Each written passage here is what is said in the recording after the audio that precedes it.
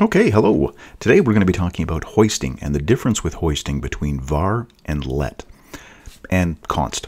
Anything I do with let is going to be the exact same thing as it is with const. But let's take a look at hoisting and see how it differs between these two declarations. All right, I'm I've created a variable here called log, which I'm assigning to log just because I'm going to be writing a lot of console log statements and I hate typing the word console over and over and over again. Okay, now when you declare a variable with var, let's start with that one. So we'll create a variable called v1. Now I haven't assigned any value to it, and you would expect that this has a default value of undefined, which it does. So if we write that out,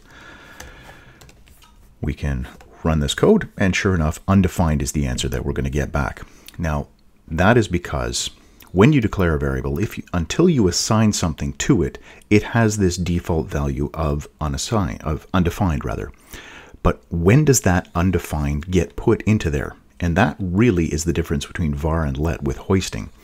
So I can take log v1, and if I shift that line up above, so I'm running it before this declaration line, you'd think, okay, well, that doesn't look right. This is going to be happening afterwards, so something's going to crash here. But if I run it again, I get undefined. Because this variable, because I declare it with var, was hoisted. It's like I moved this line right up to the top of the file. So I put it way up here, right up at the top. v1 is declared up here, and it's given the default value of undefined. So when we get down to the line where we're accessing it, it's fine. It understands that this thing exists, and JavaScript has already given it the value of undefined.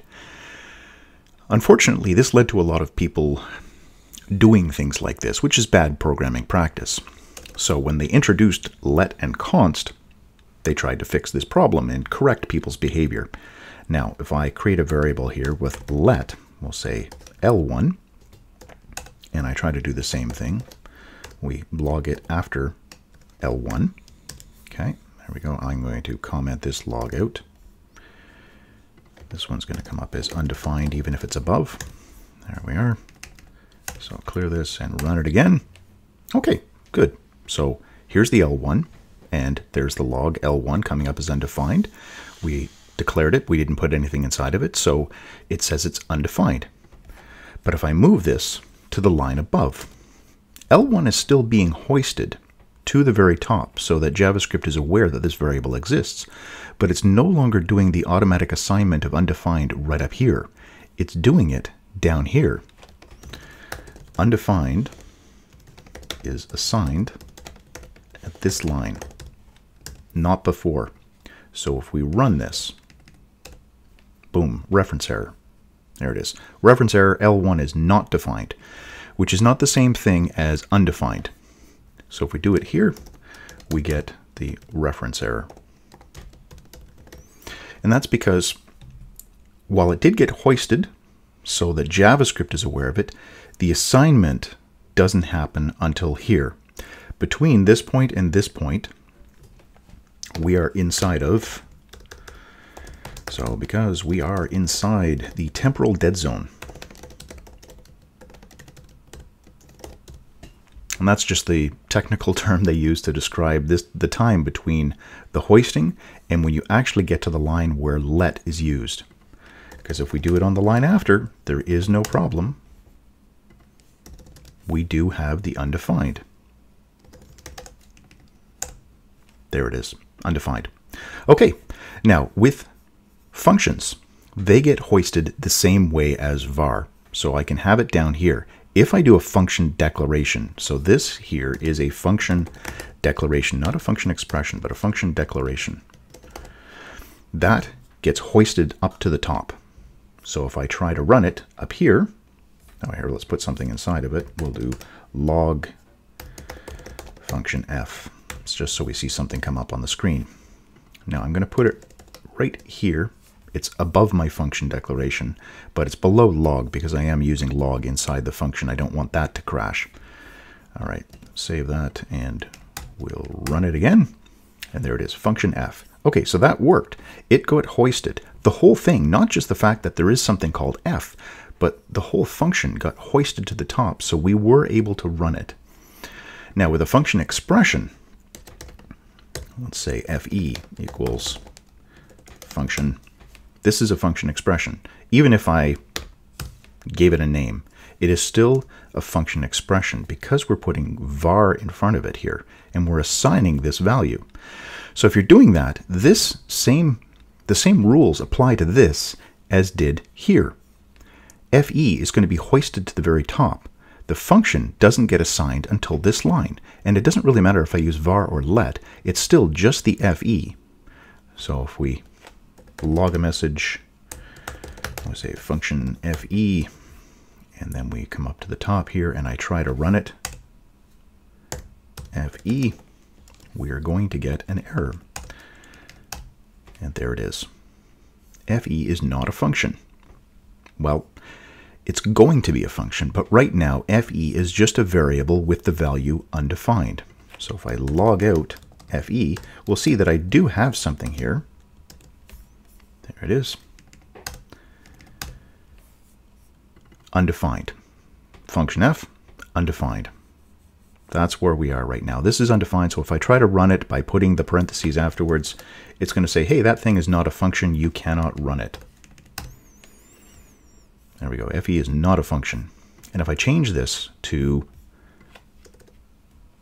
fe and I come down and I use let instead, now we've got the same thing that's happening with let, which is it's hoisted, but it doesn't have any value until this line right here.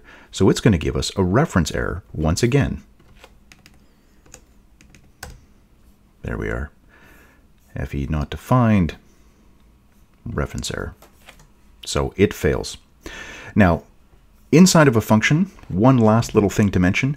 Um, with let and const, we're talking about block scoping. So that means anywhere you get a set of curly braces inside of a function, or if I have an if statement, that's a block, or if there's a for loop, that's another block. Anytime there's a set of curly braces, this is a block scope, and any variables that I declare only exist inside of this scope. So fair enough, but what if I have a variable, let's say uh, x, just because I can't think of anything right now. We have this variable x, and I've assigned something to it. This is kind of an odd situation because I've written a variable inside the function scope here. I haven't specified if it's var or let. So what JavaScript is going to do is it's going to search inside of this scope because I'm not declaring it here. It's going to search inside of this scope for something that was declared called X. It doesn't find it. It then will go up to the global scope. It searches here in its hoisted area and says, nope, I don't have anything declared, so I'm going to create a global variable called X.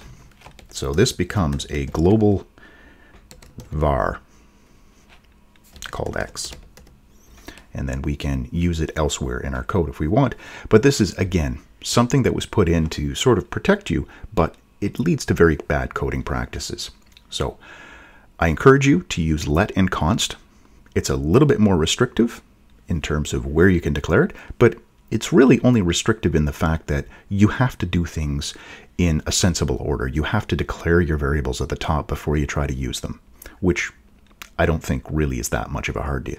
Um, how, that much of a negative thing to do. Uh, it's not that much to ask. So please use var, uh, use let and const instead of var, and put your variable declarations up at the top of the scope, whether it's at the global scope or inside your function. You should be declaring them like that. And this is to avoid the global var X. Okay, I will save a copy of this code uh, as a code gist. It's linked down in the description for you. If you have any questions, feel free to put those in the comments. And as always, thanks for watching.